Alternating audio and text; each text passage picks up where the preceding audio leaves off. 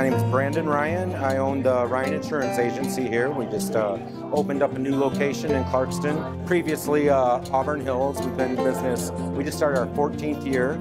We uh, specialize in personal lines, auto, home, commercial umbrella, work comp. You know, we do some commercial as well.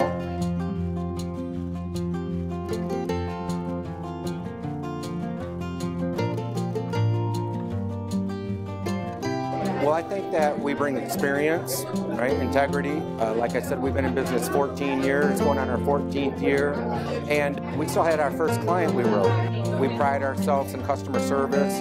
We complete annual reviews. We don't do anything that's not in the client's best interest. We put their needs before our own.